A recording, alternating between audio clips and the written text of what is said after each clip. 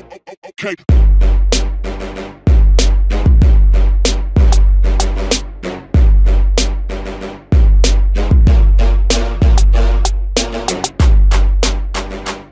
Здравствуйте, меня зовут Федор Васильев.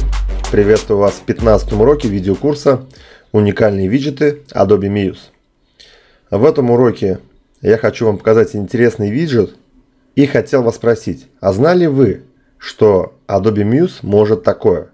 Сейчас, на первый взгляд, казалось бы, просто обычная картинка. Но стоит провести мышью, навести на эту картинку, как она просто в щепки разлетается, да, на частицы. То есть я не знаю, где это может пригодиться, но действительно виджет завораживает. То есть если мышь увести, то потихонечку эта картиночка будет восстанавливаться. Вы это видите сейчас. То есть вы можете загрузить любую цельную картинку, а виджет вот так вот ее разбивает на мелкие частицы. Причем этот виджет можно настраивать так, чтобы частицы, например, были больше. Единственный тут один момент, за, за счет того, что так много частиц, немножко притормаживает сама картинка вот эта вот. Давайте перейдем в Adobe Muse и рассмотрим настройки данного виджета. Виджет перетаскиваем на холст. Можем, в принципе, сразу его растянуть по ширине 100%. То есть за ползуночки вот так вот мы можем смело растягивать 100 и немножко вниз. Заходим в настройки виджета. Что мы здесь видим? Первое, это у нас добавить изображение, добавить файл. То есть на компьютере выбираем какое-нибудь изображение. Все, изображение добавлено. И если мы сейчас с вами ничего не будем трогать, а сразу пойдем в браузер, то у нас, смотрите, что происходит. Картинка изначально, она как бы собирается, да? То, то есть из таких вот мелких частиц она у нас сначала собирается. после того, как она у нас собралась, она выглядит как бы вот такой вот, знаете, как рой пчел, да? То есть видно, что она вся такая из частиц состоит.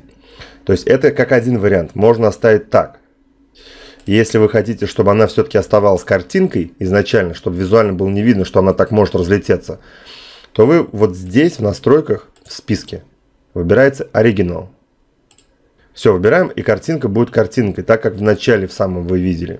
Дальше. Мы можем вот здесь вот поставить птичку. Тогда нижнее поле Color.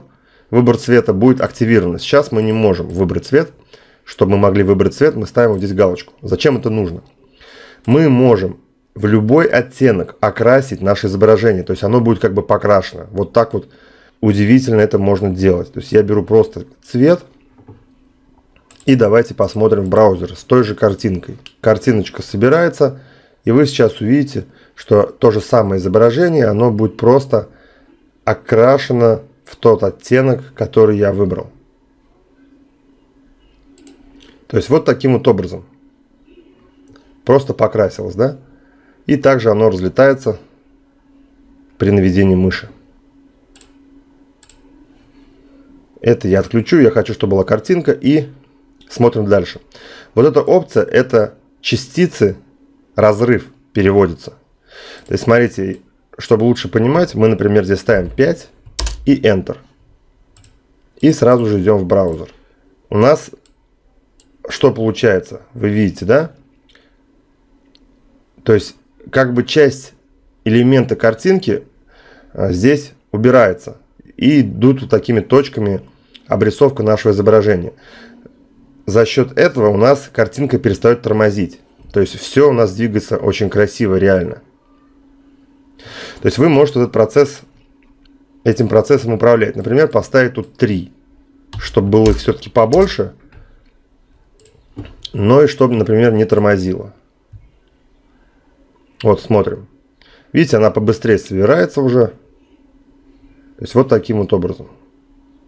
Уже идет какая-то имитация изображения, да. Можно попробовать еще двоечку поставить, в принципе, там вроде как я проверял особо не тормозит. Но вот на единице тормозит. 2 ставим. А вот ниже идет опция. Это идет размер частиц. То есть сами частицы могут быть больше. Например, я поставлю 10. Смотрим в браузере. У нас получается вот такая вот просто огроменные куски частиц. То есть, может быть, где-то пригодится, это как будто бы мультяшная графика, как раньше была, например, на Денди, да? Ну, это, в принципе, все то же самое. Здесь также на мышку работает. То есть, вы здесь можете подобрать под себя нужные параметры, как будет лучше смотреться. Но эта картиночка уже немножко притормаживает, да? Вот. Чтобы не тормозило, вы выбираете вот здесь вот, например, 3. Ну или выше. Здесь надо уже смотреть. Ну, вот таким вот образом.